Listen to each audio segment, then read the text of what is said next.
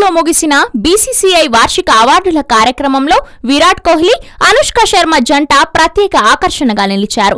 రెండు వేల పదహారు నుండి రెండు వేల పదిహేడు రెండు వేల పదిహేడు నుండి రెండు వేల పద్దెనిమిది సీజన్లకు భారత అత్యుత్తమ క్రికెటర్కు ఇచ్చే పాలి ఉమిగ్రర్ అవార్డును విరాట్ కోహ్లీ అందుకున్నాడు. గత రెండు సీజన్లలోనూ అంతర్జాతీయ సిరీస్లో అత్యుత్తమంగా రాణించిన కోహ్లీకి జ్ఞాపికతో పాటు పదిహేను లక్షల రూపాయల చెక్ను అందజేశారు. ఇక మహిళల విభాగంలో తొలిసారిగా ప్రవేశపెట్టిన అవార్డులను భారత T twenty captain Harmanpreet Kaur opener Smriti Mandhana అందుకున్నారు. రెండు వేల పదహారు నుండి రెండు వేల పదిహేడు సంవత్సరానికి హర్మన్ ప్రీత్ కౌర్ రెండు వేల పదిహేడు నుండి రెండు వేల పద్దెనిమిది సీజన్కు స్మృతి మందనాలకు ఇద్దరికి ఓ జ్ఞాపికతో పాటు చెరో పదిహేను లక్షల రూపాయల చెక్ను బహుకరించారు.